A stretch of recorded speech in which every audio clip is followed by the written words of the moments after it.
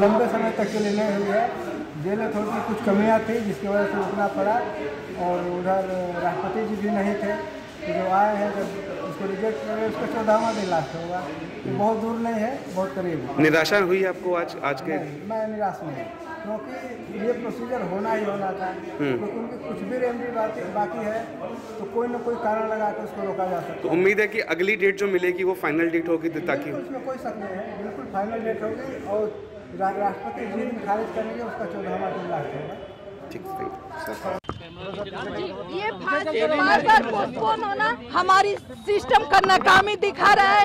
ये पूरा समाज देख रहा है पूरा दुनिया देख रहा है पूरा वर्ल्ड देख रहा है कि कहीं ना कहीं जो इंडिया में दिखाया जाता है कि नहीं इंसाफ है तो इंसाफ से ज़्यादा मुजरिमों का सपोर्ट होता है और जो मुजरिम चाहते हैं तो कहीं ना कहीं हमारा पूरा सिस्टम मुजरिमों को अभी सपोर्ट को, कर अभी भी कोई डेट नहीं दिया गया क्या क्या कहना चाहेंगी आप इसको लेकर? क्योंकि अभी वो चाहते नहीं उनके वकील चाहे मुजरिम चाहते नहीं है कि हमारी फांसी हो तो जब तक वो चाहेंगे नहीं तब तक नहीं अब आप मिले क्या कहना चाहेंगे? कोर्ट से क्योंकि आप कह रहे थे कि सुप्रीम कोर्ट में एक केस जो है पूरे शीशे की तरह साफ़ है लेकिन पटियाला कोर्ट में देखना होगा क्या होगा। अब आप क्या कहना चाहेंगी आशा जी? देखिए अब अब तो मैं यही कहूँगी कि आप सब लोग जाके सरकार से पूछिए सुप्रीम कोर्ट से पूछिए पटियाला कोर्ट हाउस से पूछिए कि आखिर उनको फांसी कब होगी? क्योंकि जब तक फांसी नहीं होगी तब तक रेमडी उनकी खत्म नहीं होगी। अपने अपने चक्कर में ना लेकिन आप आज हिम्मत तो नहीं हारी हैं।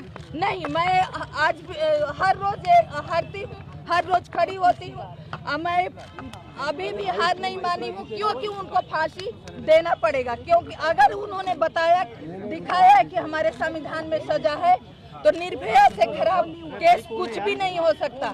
जिस तरह से उसकी बर्बादता हुई थी जिस तरह से उसको मारा गया था, रोड पे फेंका गया था, यहाँ तक कि उस बच्ची को अतड़ी तक निकाल के इस मुजिबों ने बाहर फेंक दिया। फिर भी हम साथ साथ से मैं संघर्ष कर लेकिन सरकार और हमारी सुप्रीम कोर्ट पटियाला कोर्ट सब बैठ के तमाशा देख रहे हैं बच्चियाँ जलाई जा रही हैं लेकिन इन ये इनके तक आँच अभी नहीं पहुँच रही। कन्विक्टेड की नेचुरल डेथ होगी तिहाड़ जेल के अंदर।